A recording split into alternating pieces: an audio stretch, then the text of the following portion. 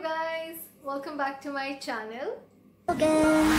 Ah baby, cena ni lately Shkundi mu pom edhe dhe i treti Sanet po ndrojnë të mundu. So today's video is all about cleaning your house in quarantine. What else would you do? So me and my father we actually accepted the task of cleaning our house especially our air conditioner our refrigerator our fan. There are so many things which we actually cleaned so yeah this task was given to us by my mom. So we actually cleaned some of our electronic items in the house by doing some jugaad because um, obviously we won't be having any uh, repairing person or any maintenance person coming up to our house and cleaning it. So we had to do it by ourselves. So i'm sure you'll get to see what jugaad we did so guys i hope you enjoy watching this video and please comment down and let me know what videos you want to see next. So now without wasting further ado let's get straight into the video